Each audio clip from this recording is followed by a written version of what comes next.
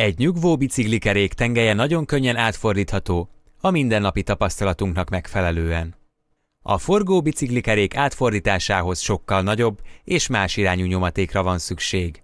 A kezünkkel a kerék perdületének irányát kell változtatnunk, az ehhez szükséges nyomaték merőleges a tengelyre és függőleges síkú. Tehát az egyik kezünkkel magunk felé kell húznunk, míg a másikkal el kell tolnunk a tengely végeit.